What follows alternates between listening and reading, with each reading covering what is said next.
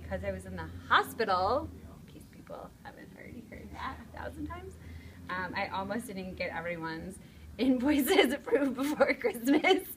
And so no one was going to get paid. And it was going to be terrible. But it's fine. Everyone's getting paid.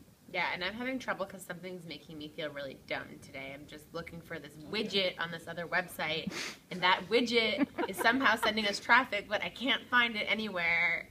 And it's just a widget that can't be found. And I'm too embarrassed to ask them where it is. xoJaners, find the widget. Find the widget.